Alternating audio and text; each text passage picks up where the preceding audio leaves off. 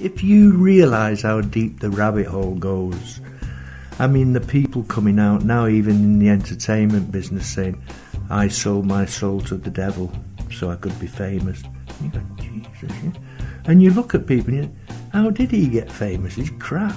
and then you think, oh, he must have sold his soul to the devil.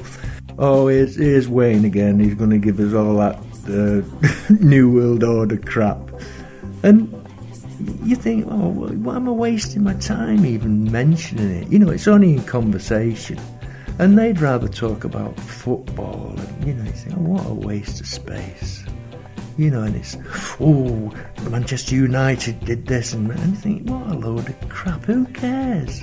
You know, who cares about Manchester United and Manchester City? And, and, and, and then you look, you think, this is it. They're just programmed that's going to be their life. You know, women will watch soaps and men will go to football, and then you'll get up in the morning, you'll go to work, and you'll do this, and then you'll finish at five if you're lucky.